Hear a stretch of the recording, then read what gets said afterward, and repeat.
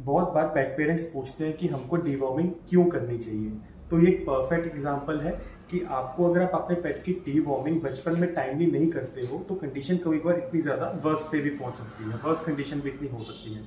तो अभी हम, हमारे पास ये पेट आया है तो अभी हम क्या कर रहे हैं, अभी हम इसको एक डीवॉर्मिंग पिलाएँगे बस पुत्र बस।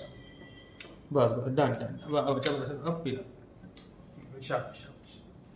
Done done done done done done